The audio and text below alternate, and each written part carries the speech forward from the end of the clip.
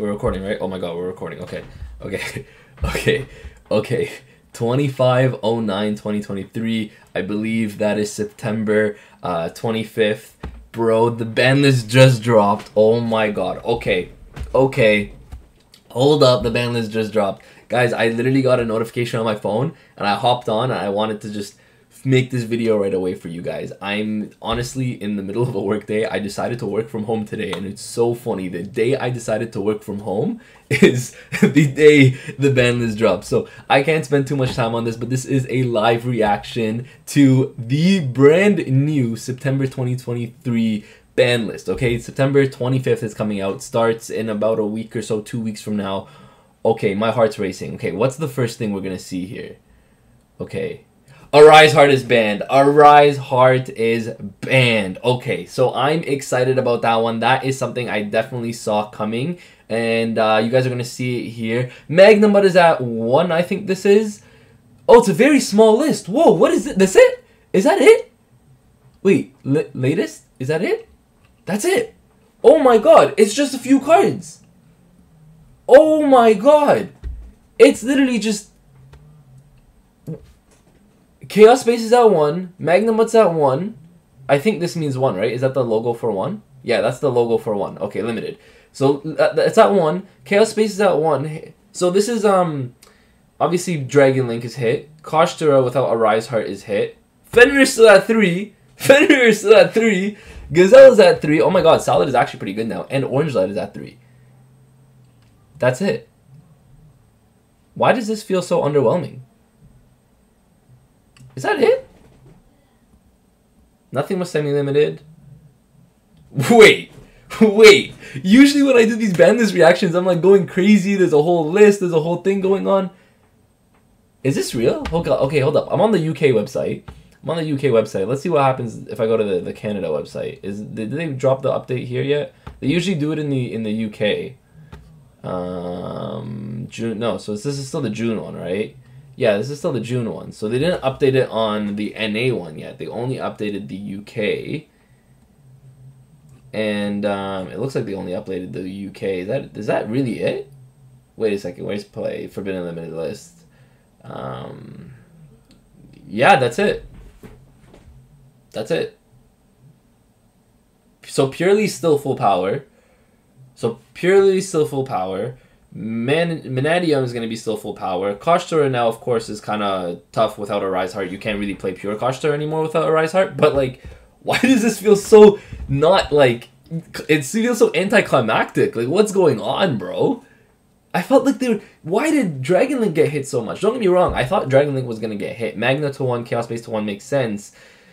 But it didn't hit anything else. So, Purrely still going to be crazy.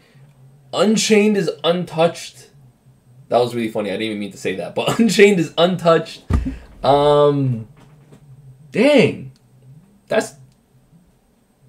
I don't even know what to say here. Herald of Orange Light being to three is cool, I guess. Uh, I think you can play Drytron again. I mean, this now in Drytron is pretty powerful. I think. Did they used to play this in Drytron? Yeah, it was Drytron, right? I think so. Was there anything else that you played this in? I don't remember. Eva's still gone though, but um, Herald of Orange Light, of course, is still very powerful. Generator got a pretty big buff because I know Herald was uh, was uh, a really good card in generator. Salad is going to be really good. Salamangreat is actually kind of low key insane with three Gazelle now. Uh, actually, not even low key. Like that's it's high key kind of insane with three Gazelle. Wow, that's it. That's all Konami decided to do. I don't even want to keep you guys too long. I don't know what to say to this.